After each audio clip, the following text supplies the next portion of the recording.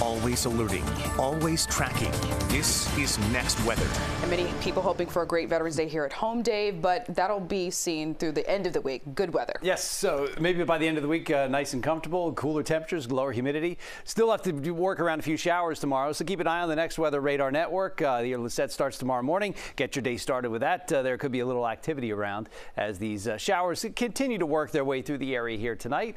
Lining right up near the coast, uh, they will be pushing through the area and moving inland with the breeze. Uh, so we'll keep that going overnight tonight. Could wake up to just a few showers around tomorrow morning. But right now, you could just hear a little rain shower here Miami Beach, Aventura, just south of Fort Lauderdale. Everything will move uh, with that breeze going east to west.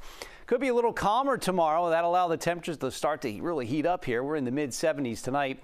The east wind will keep it mostly steady here, uh, maybe mid to uh, upper 70s by the time you wake up tomorrow morning. We're at 78 right now. We have that breeze coming in from the northeast. And again, not too long from now, we'll see a shower pass right through here from right to left uh, with that breeze.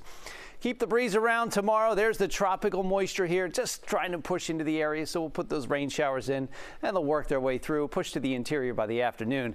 Keeping it pretty warm at least Tuesday and Wednesday. If we look up to the north, we'll have a front coming through uh, by Thursday and Friday. The wind picks up. You get isolated rain showers at least by the end of the week but even drier air comes in uh, by Friday night and Saturday. And look at that wind turning a bit to the north.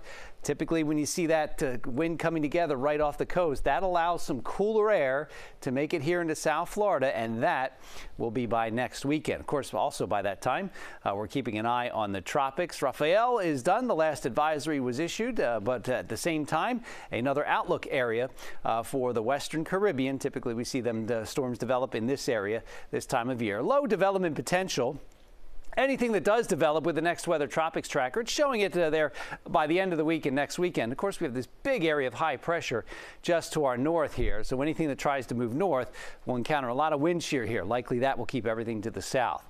No alerts in the Atlantic waters. Lighter breeze tomorrow. Calmer conditions. Northeast wind at 10 knots there. No alerts in the Keys.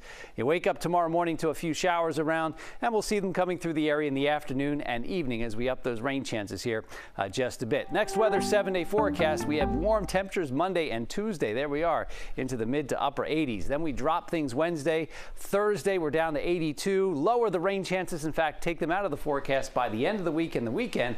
And look at our low temperatures dropping in the upper 60s Saturday and Sunday. Mm, okay. That's the temperatures I like. Dave, thank you.